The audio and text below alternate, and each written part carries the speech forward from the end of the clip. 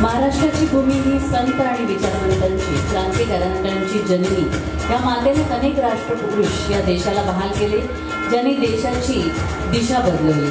सरांचं स्पीच मी फेसबुकला ऐकलं होतं जवळपास एक वर्षापूर्वी. तेव्हापासून एक उत्सुकता होती की सर कुठे राहतात? म्हणजे माहिती नव्हतं कुठे राहतात. पण योगायोगानं बघा ना काही दिवसापूर्वी सरांची आणि आमची भेट झाली. स्पीच जर ऐकाल ना तुम्ही खरंच सर आम्हाला नक्कीच प्रत्यक्षात तुमचा दोन शब्द आम्हाला ऐकायला नक्कीच आवडेल.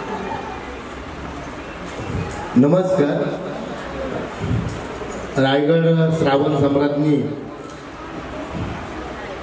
या दिशा मंचाने मला बोलवलं त्याबद्दल मनापासून आभार. उपस्थित भगिनीनो बंधून मी काय म्हणणार नाही कारण आम्ही कमी आहोत. भगिनींची संख्या जास्त आहे. पण तिच्या हक्काच्या व्यासपीठावर तोला बोलण्याची संधी दिली त्याबद्दल मनापासून तुमचं धन्यवाद. इथे मी कसा आलो ते तुम्हाला सांगतो. की हा जो तो आहे ना हा इथे येत असताना तिनं विचारलं म्हणजे आमच्या हिनं.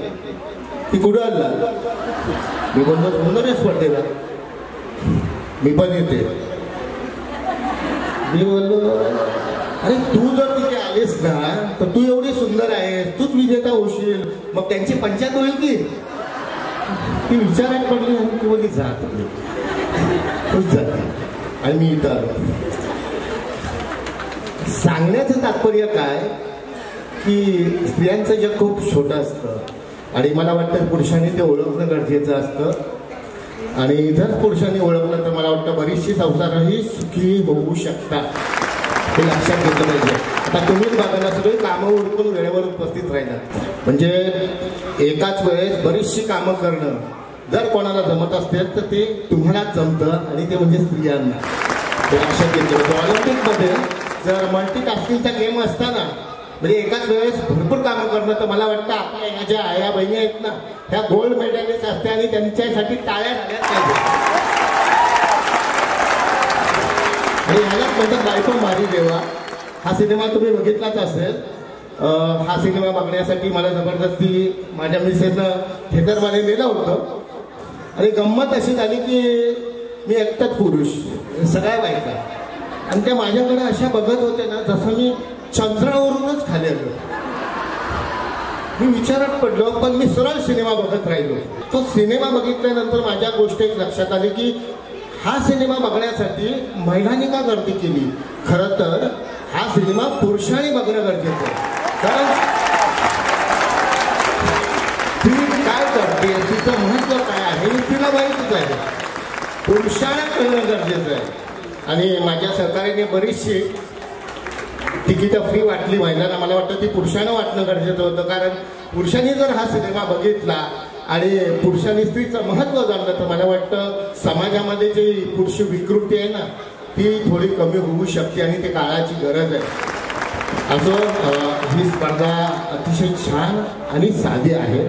इंटरनॅशनलच्या स्पर्धा होतात त्यांचे नियम जबरदस्त असतात. म्हणजे नाईन्टी डिग्रीमध्ये तुमचं नाक पाहिजे. वजन मन मिलीग्रॅमपेक्षा जास्त कमी नको.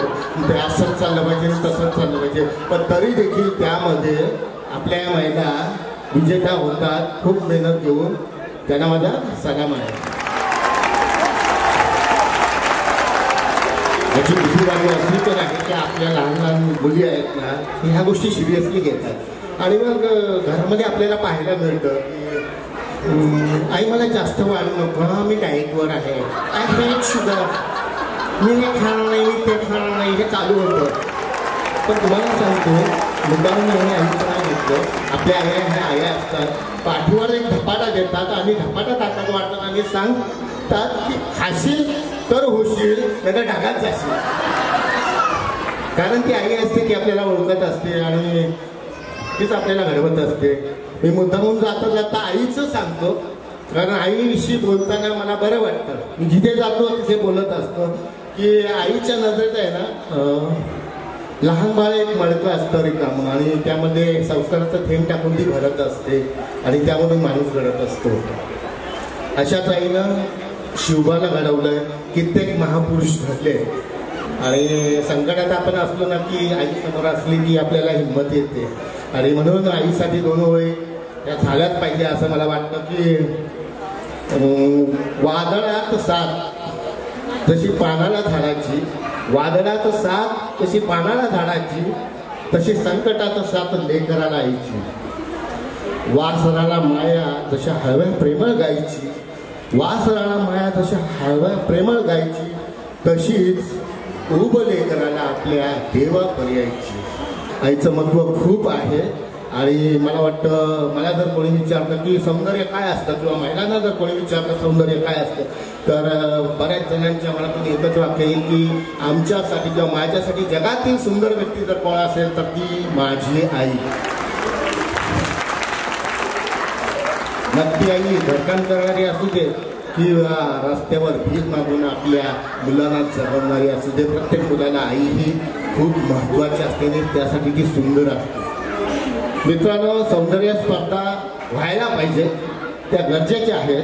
पण मला वाटतं की सौंदर्य आहे ना मनामध्ये असणं गरजेचं आहे. तुमचं मन जर साफ असेल आणि तुमचा दृष्टिकोन जर चांगला असेल तर मला वाटतं तुम्हाला प्रत्येक गोष्टी ही सुंदर दिसत असते आणि आपण बघा ना विठ्ठल रखुमाईची मूर्ती बघतो ना तेव्हा आपण किती प्रसन्न होतो. मग कसलं रूप आणि कसलं रंग? आणि म्हणून तुम्हाला सांगावं असं वाटतं की डोळ्यांची सुंदरता असणं गरजेचं आहे. आणि जाता जाता एकच सांगतो की प्रत्येक पुरुषाच्या मागे स्त्री असते. पण मला असं वाटतं की प्रत्येक स्त्रीच्या मागे पुरुषाने उभं राहिलं पाहिजे.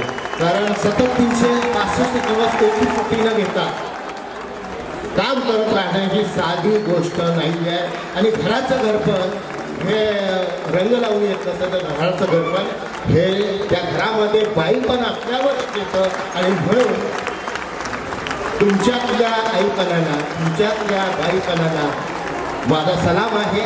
आणि जाता जाता एकच सांगतो की आयोजकांनी एकाच वेळेस म्हणजे महिला सशक्तीकरण त्यानंतर एकत्र महिलांना इथे जमून विरंगुळा निर्माण करणे आणि पुरुष जे एकटे घरी आहेत त्यांच्यासाठी अधिक विरंगुळा केला आहे त्याबद्दल मनापासून त्यांचा आभार. त्यांनी कार्यक्रम असे राबवावे त्यांना सहकार्य करण्याचं काम आम्ही करू.